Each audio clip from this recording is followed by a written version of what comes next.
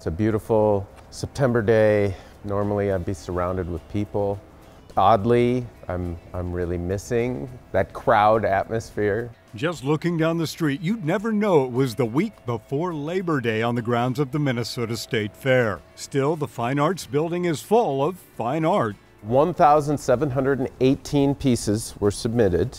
Um, that's down uh, significantly from last year. Um, last year we had over 2,700, so we're down about a thousand works, which is unfortunate, but to be expected during these times. I had even expected maybe fewer submissions than we got. North Hennepin Community College gives out three awards of excellence in the show.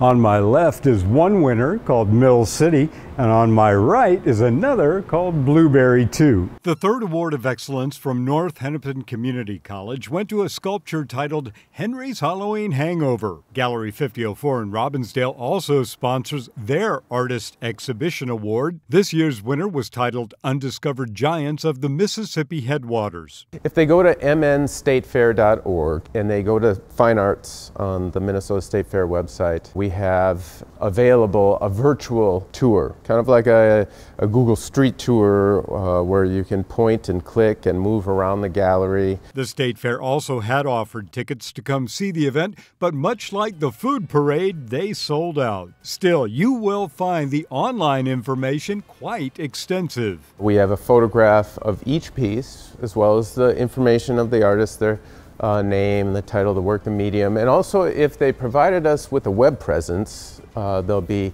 uh, their website as well. From the Minnesota State Fair Fine Arts Building, Neil Persley, CCX News. Find more local news stories at ccxmedia.org and follow us on social media.